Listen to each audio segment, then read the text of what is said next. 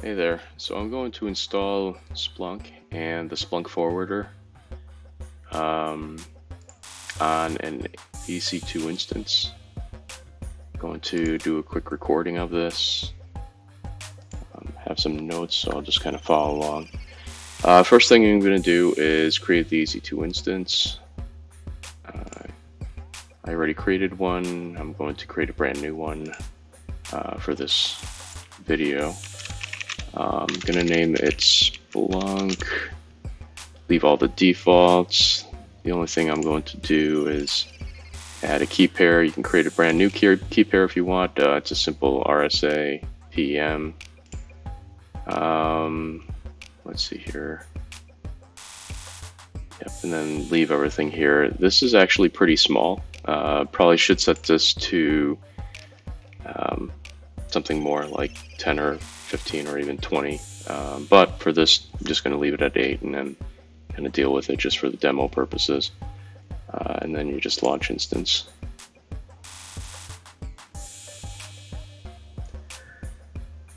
Okay, this is the new instance that I have. It's pending. It'll start. Um, let me go ahead,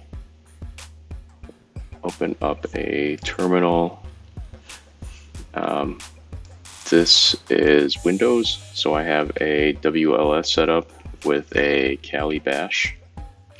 Um, I might make a tutorial for something like that later, but either way, this is what I have and I set this up. Um, what I think I want to do is show you here I have the uh, PEM file. Um, the the thing is that um, I, I actually downloaded this file, want to actually grab this file, and I want to show you that if you go to um, WSL and then dollar sign, this will actually bring you to the um, uh, bash shell home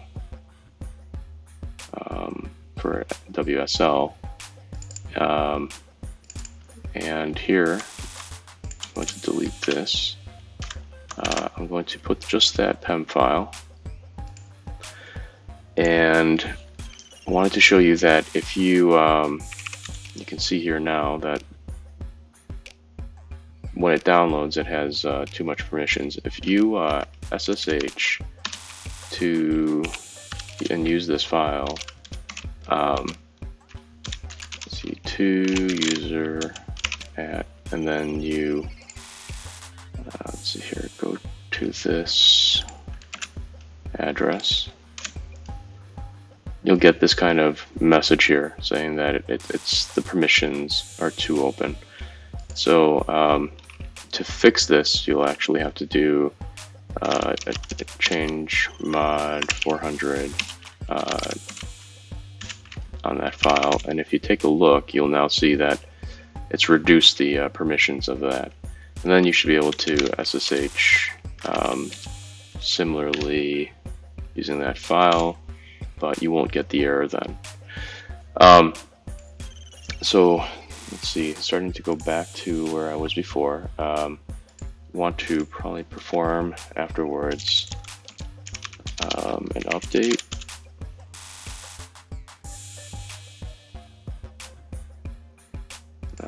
on this.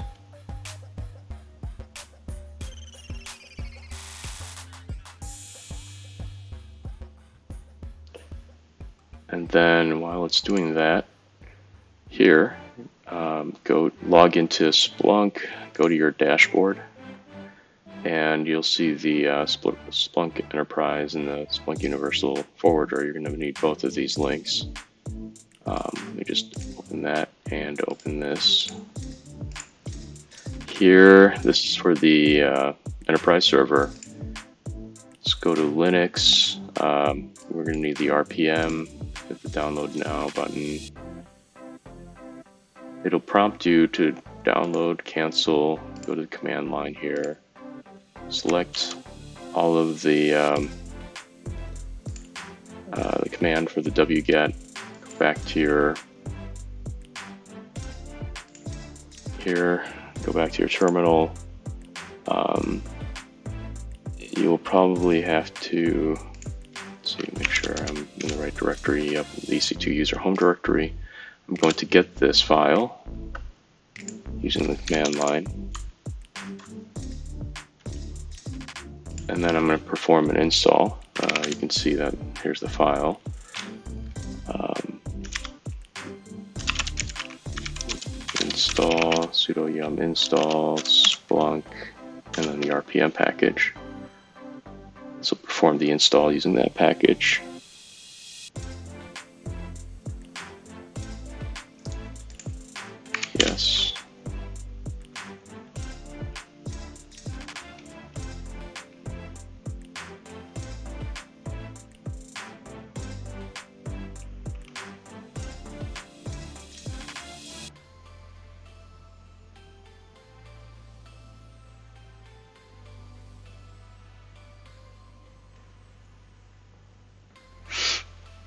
Okay.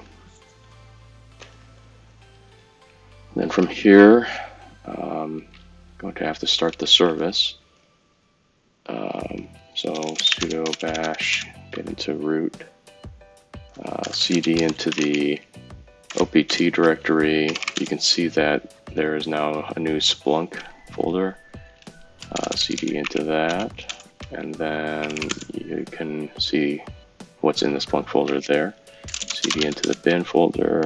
We're going to execute the Splunk start.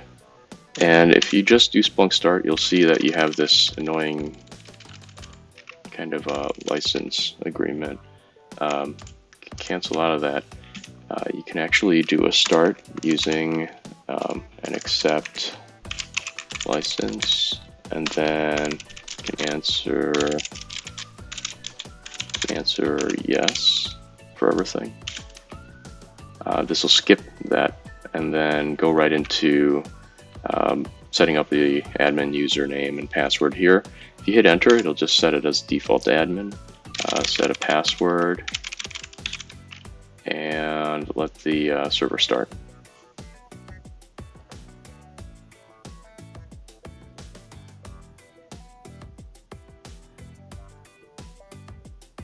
The server is going to start on port 8000. Going to have to go back to EC2, um, open up a firewall rule, go to security groups, edit inbound rules, add um, an 8 8000 port uh, for just anywhere, save the rules. Go back. Uh, it should have started now, so you can open up a browser window. So here, let's go back to that instance and grab that port uh, IP address and on port 8000. Can log into Splunk using that same password, that admin and password that you set. Okay, never um, you'll see a message right up here where it's saying the uh, minimum free disk space. Uh, this will actually keep Splunk from working correctly. So what you need to do is go to settings, uh, server settings, general settings, and then change this to 50. Um, just show you that again. It's the pause index um, the free disk space setting. Okay. Um, and then let's shift over to the forwarder. So we have our server, server's running. Um, go back to the terminal. Um, there was this forwarder web page, you need to go to the Linux 64-bit, um, and then the RPM. Hit download now. Again, you want to cancel when um, it's asking for the download prompt there. Um, take this copy this, go back to your terminal and let's exit out of root. Um, now you're back in your user home. Uh, get the file. You can see now we have the two different install files. Um, let's do a sudo install yum install and Splunk forwarder.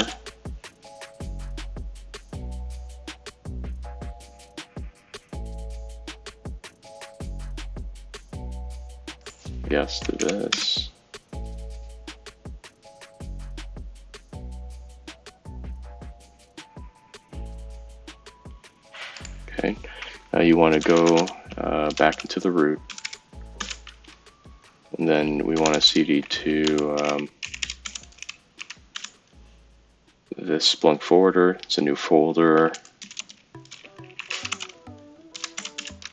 And then the bin directory.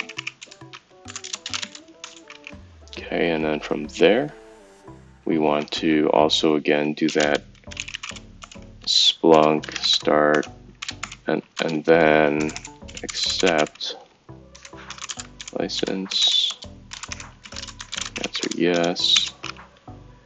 Uh, again if you hit enter just take the default set a password.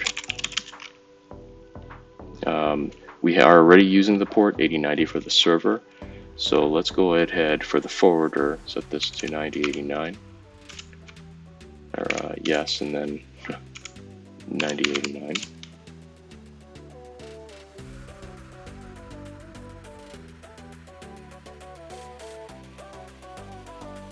Okay, now we want to forward um, to a port on the server.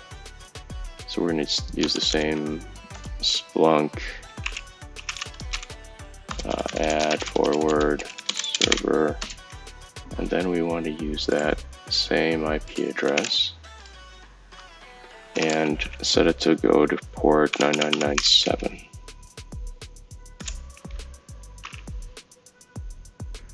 To ask you for um, username and password.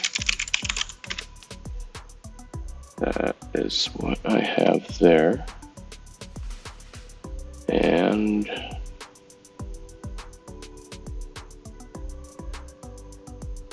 then I will need to do a restart.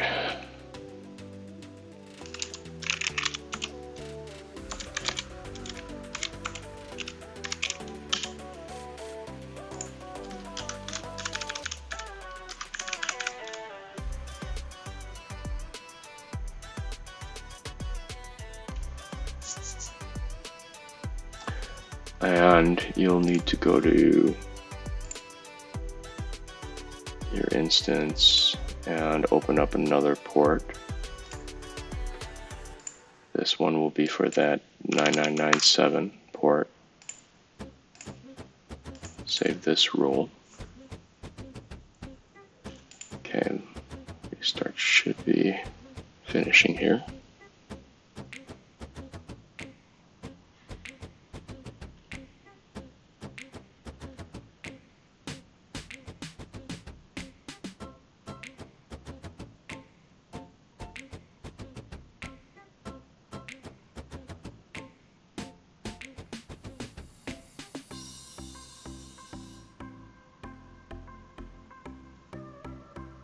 Now you will have to go and set a monitor.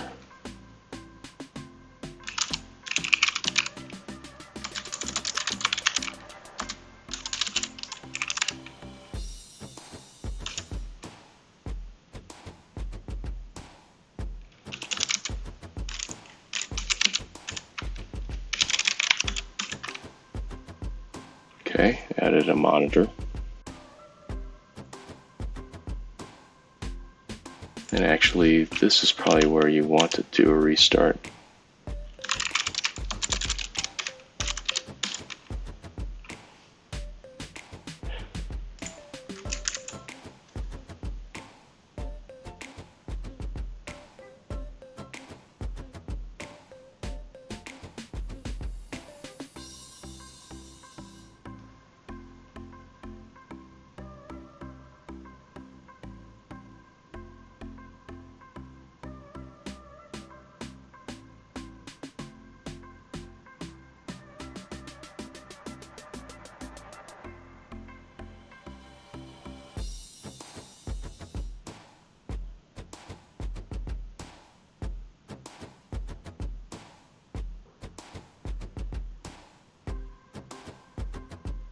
Okay. Um, now we want to switch over to the server.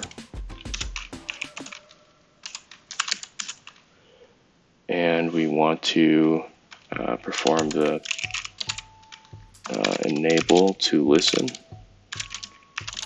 Uh, listen on 997.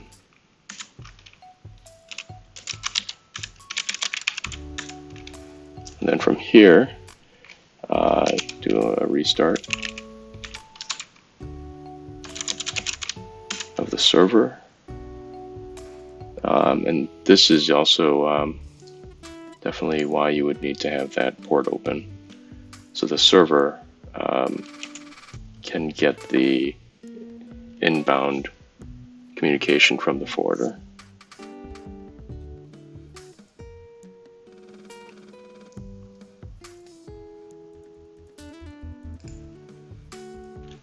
See, uh, can wait here until the uh, Splunk server restarts.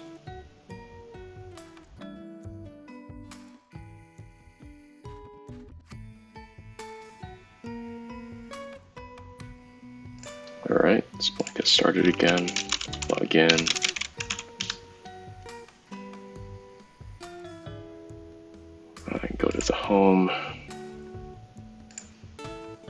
Go to search and, and reporting. Uh, let's skip that. Go to data summary here. And we should see hosts update. This is the forwarder right here. Click on that. You can see that we have a bunch of data here um, that is coming from the var logs directory. Okay, I think that's it. Peace out.